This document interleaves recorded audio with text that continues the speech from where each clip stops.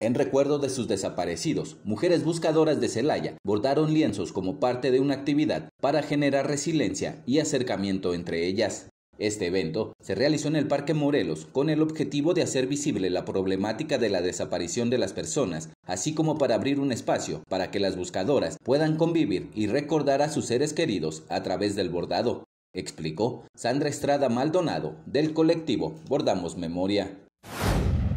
La idea es, por un lado, visibilizar la problemática de desaparición, pero también abrir un espacio para que las señoras, para que las buscadoras puedan pues eh, tener un momento de pensar a sus desaparecidos, conversar entre ellas.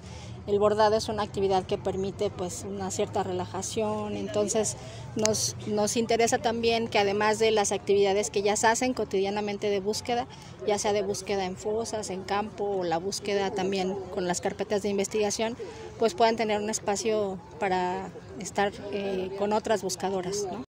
Explicó que algunos de los bordados han sido donados a este colectivo para ser llevados a los municipios donde se realiza esta actividad. Otros más se los quedan las buscadoras y se utilizan en marchas y eventos.